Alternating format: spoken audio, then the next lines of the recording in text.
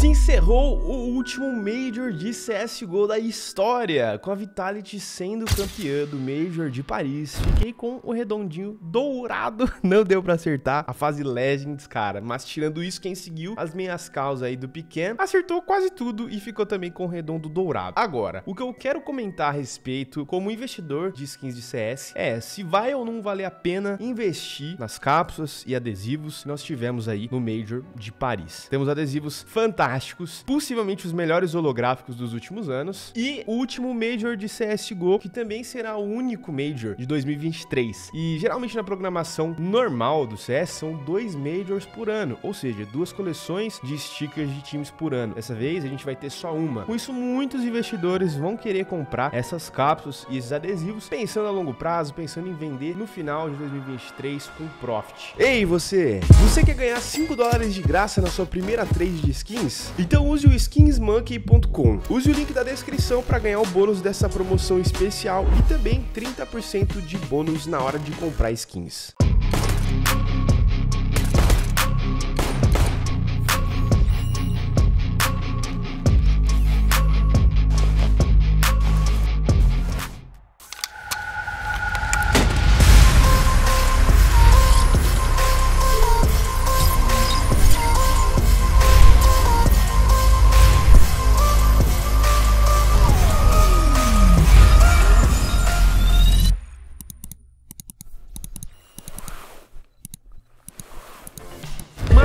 Algo que eu já vou deixar bem claro para vocês. A Valve sempre fez desconto de 75% nessas cápsulas. Então agora elas estão custando 5 reais. Mas a gente vai ver daqui 15 a 30 dias sendo aplicado um desconto de 75% que vai fazer o preço dessas cápsulas cair para cerca de R$ 1,20. Foi exatamente o que aconteceu no campeonato de Antwerp 2022, duas semanas depois do Major ter se encerrado. Mas já no Major do Rio 2022, esse desconto demorou um mês para chegar. Então se formos pegar a média dos últimos dois Majors, provavelmente três semanas é o que falta pra gente receber esse desconto de 75%, tá? Fica entre duas semanas e um mês. Acredito que não vai passar disso, até porque a gente já tem o lançamento do CS2 chegando no verão lá da gringa, que seria perto aí de julho. Então, minha opinião, eu acho que a Valve dessa vez vai adiantar um pouquinho esse desconto, trazendo essas cápsulas para custar aí 75% menos, logo agora no começo de junho. Minha opinião, tá? Para durar aí junho, julho, julho, dois meses inteiros no mínimo com esses descontos. E bom, vou investir em cápsulas ou vou investir em adesivos? Cara, vou primeiro começar falando dos adesivos que são os mais hypados do CS. Galera, os adesivos holográficos. Esses são os que sempre sobem e valorizam de maneira astronômica, às vezes 10x, às vezes você compra um adesivo por 10 reais, vende por 100. E nós tivemos muitos adesivos holográficos bonitos nesse Major. Possivelmente os adesivos holográficos mais bonitos dos últimos anos, eu diria,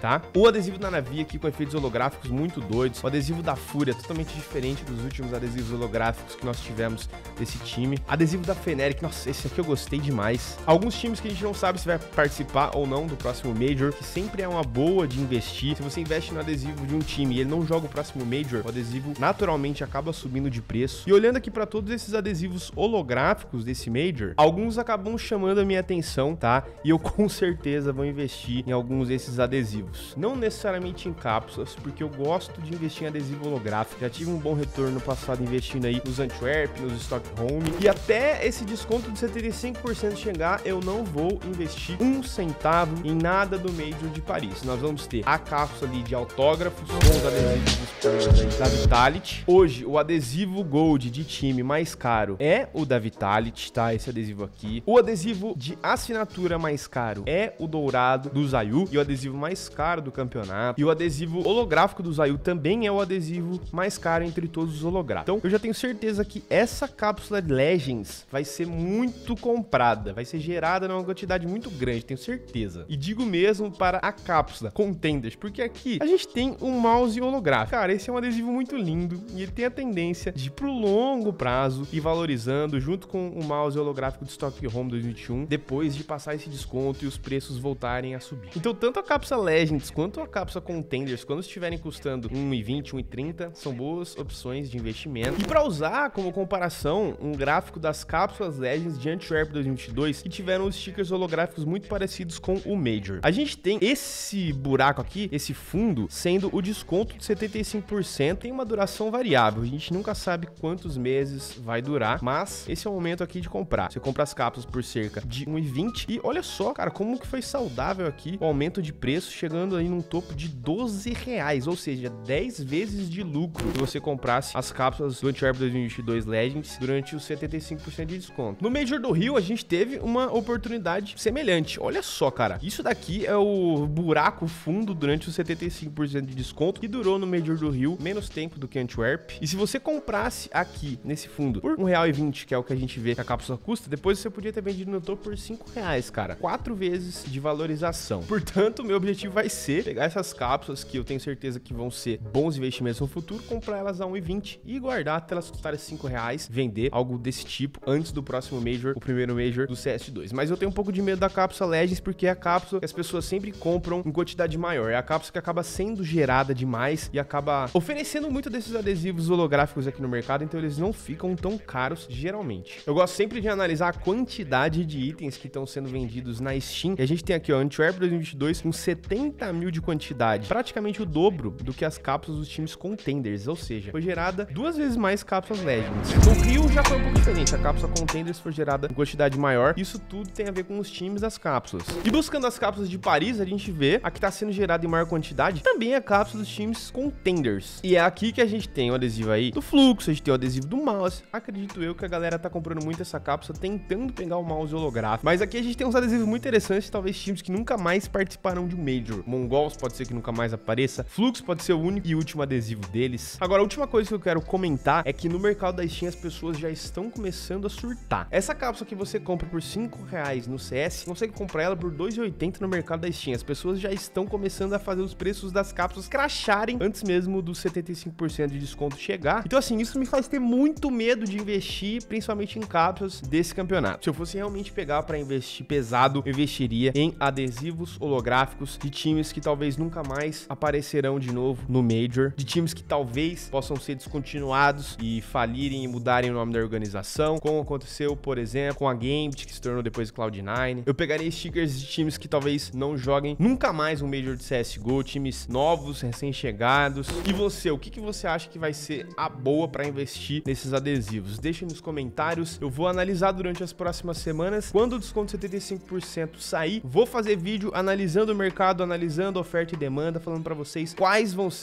os meus investimentos, quais itens e cápsulas eu vou decidir investir. Do mais, eu aconselharia vocês a ir guardando dinheiro já na carteira da Steam, para que quando esse desconto role, você já esteja preparado para conseguir comprar esses itens e investir neles. Como esse é o único Major do ano e último Major do CSGO, a gente sabe que tem um potencial gigantesco para esses stickers subirem de preço depois do fim do 75% de desconto. E é aí que a gente vai começar a lucrar. Aqueles que escolherem os itens mais desejados vão acabar lucrando mais. E apesar dos Golds serem os stickers mais caros do CS, os holográficos são o que tem a tendência a dar maior retorno. Então eu já fico olhando aqui os adesivos holográficos mais caros e vou esperar eles abaixarem de preço para daí sim começar os trabalhos de as compras. Galera, um abraço para vocês. Valeu por acompanhar esse vídeo. Aqui você encontra muitas dicas aí como investir em skins de CS. Espero poder ajudar vocês. Se tiver alguma dúvida, pode deixar nos comentários. A gente se vê na próxima. Um abraço. Falou.